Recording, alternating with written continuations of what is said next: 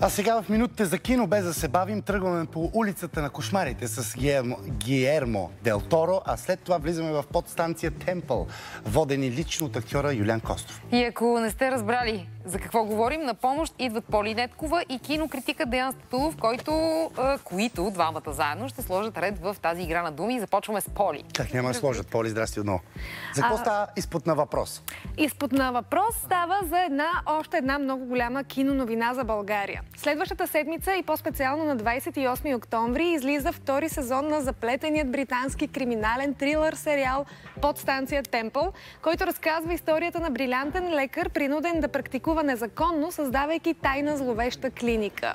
Първи сезон пожена огромен успех и се нареди в топ 20 най-гледани заглавия в Америка, а в следващите няколко минути ще видите една изключително интересна среща с български актьор, който също участва в два от новите епизоди. Той вече разполага с богат и интересен киноопит зад граница и със сигурност сте чували името му. Какво е да снимаш редом до някой от най-големите имена сред актьорите и какво да очакваме от втори сезон на подстанция Темпо, ще ни разкаже Юлиан Костов.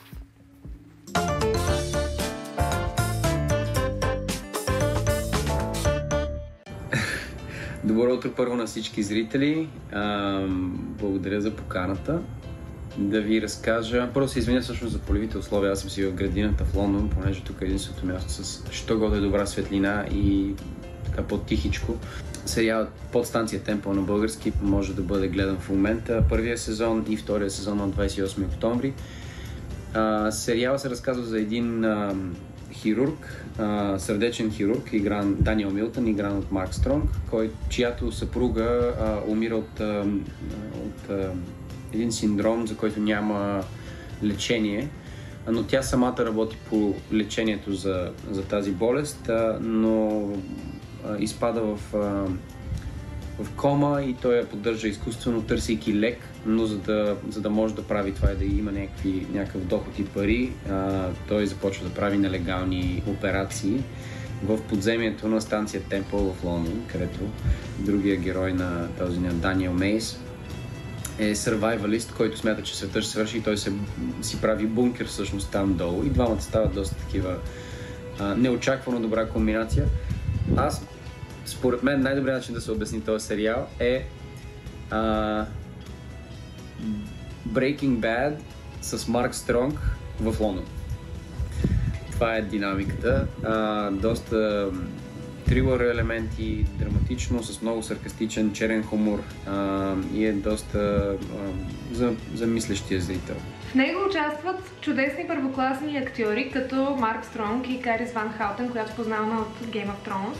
Какъв е успехът на Темпъл в Великобритания и в света? Да, наистина са страхотни. В това число бих сложил и Даниел Мейс, разбира се, както и доста от а, останалата част от каста. А, но и бих изтъкнала на Мария Маринка, защото тя играе сестра ми в а, сериала. Аз а, не бих казал, че а, знаех за нейната работа преди да се запознаем, но тя се оказва, че може би единствената, не знам, а, балканка с бафта награда и е спечелила преди 15 на години а, бафта за един игрален филм, за главна женска роля. А, и тя е просто наистина също много, много талантлив а, артист. Знам, че в Штатите стана наистина топ 20 Миналата година беше обявен за топ 20 сериала за 2020 от New York Times, от критиците на New York Times, което беше наистина доста голям успех за сериала и надявам се сезон 2 ще повтори това и ще го надмине, защото наистина сезон 2 е и по-добър от сезон 1, защото надгражда над а, историята, на тази доста крейзи история, която се разказва там. А на този етап какво можеш да ни разкажеш за ролята си? А, в момента не мога да разкажа изключително много за какво се случва в, в историята на, на епизод 3 4, в които играя. В епизод 4 особено а, а, интересен е пътя на, на Макс, който доста съвпада с емоционалния път на, на героя на Марк Стронг, а, Даниел Милтън. А, и двамата имат а, доста интересни моменти, включително и го уча на молдовско хоро. А, това може би е единственият спойлер, който бих си позволил в момента. Така че ако искате да ме гледате как играе молдовско хоро с Марк Стронг, това е шоуто за вас. Както казах, сериал е драма, трилър с комедийни елементи, така че аз се вписвам напълно в, а, а, в това с, а, с пътя на моя герой.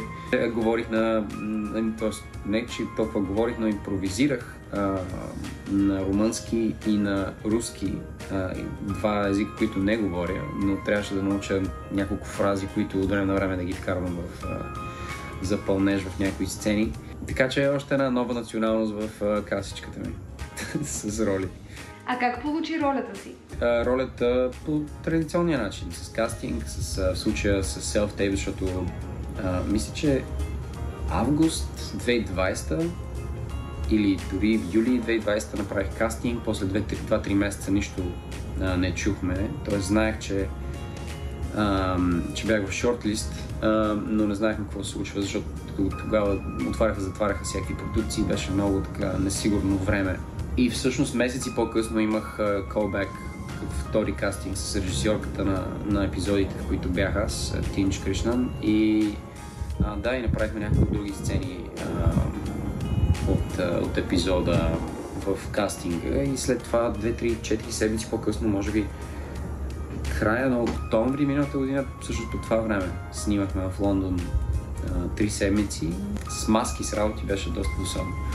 В сериите, в които участваш, се вижда още едно българско лице, твоят най-добър приятел и сътрудник Мартин Медникаров.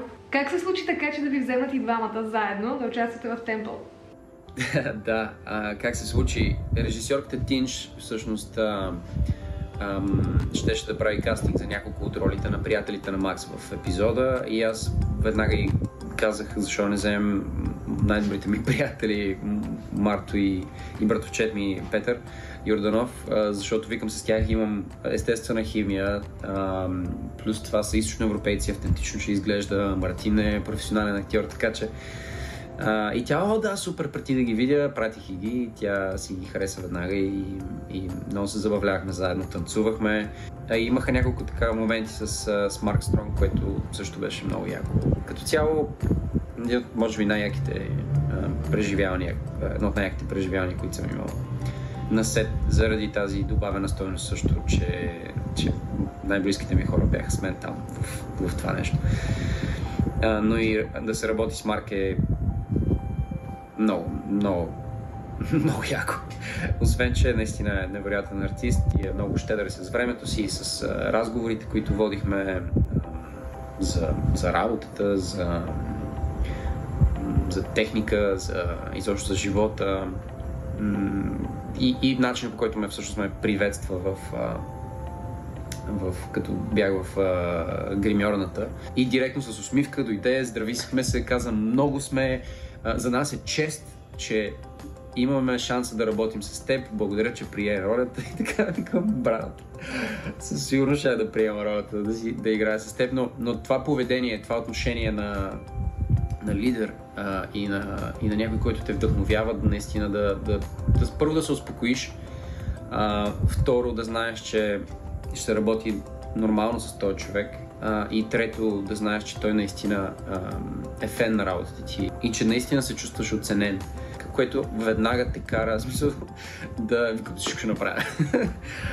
ще ще а, отида в най-дълбоките дебри на душата ми за, за теб. Разбира се. Кога излиза втори сезон на сериала и къде могат да го гледат нашите родни български зрители? Първия сезон на сериал под станция Темпо можете да гледате по HBO и HBO Go, а втория сезон също там излиза на 28 октомври. Благодаря ви.